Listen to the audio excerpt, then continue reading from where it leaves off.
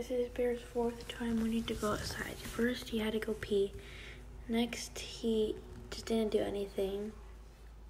And then the third time he went peeing and he did diarrhea a little bit. You, you need to go outside again? The last time you've been out was like literally five minutes ago.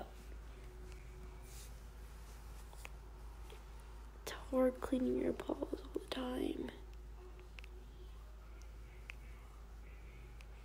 Okay, let's go potty.